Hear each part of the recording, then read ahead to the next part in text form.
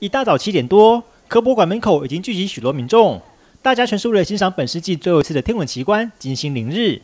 现场有科博馆人员架设多台天文望远镜，分别提供各种观测方式供民众欣赏。早上的时候，我们可以大概在六点九分到十一分左右啊，因为各个地区的时间会不一样，我们可以看到金星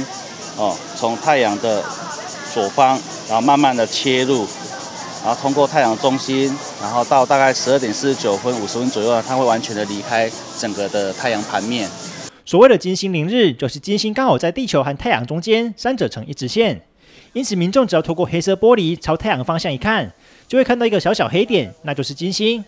而这天的奇观从清晨六点十二分左右就开始出现，整个过程持续到中午十二点四十八分，金星才会离开太阳表面。对，特意过来看。我已经看得很清楚，对，因为它放大了，对，大概在那个九点钟那个方向，哦，就一个黑黑的，嗯，金星跟太阳的比例实在是差太大，就是小小小小的，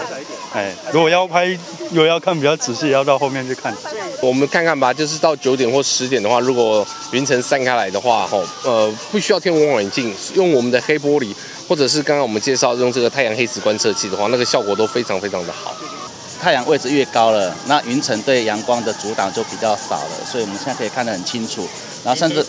对黑子可以看得到，我们可以看到大概有七八颗的太阳黑子。由于一早太阳位置较低，受到云层遮蔽的影响，光线并不充足，直到八点多才拨云见日，甚至连太阳黑子都可以清楚看到。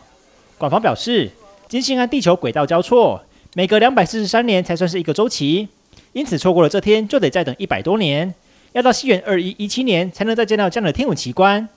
记者洪家宏台中采报道。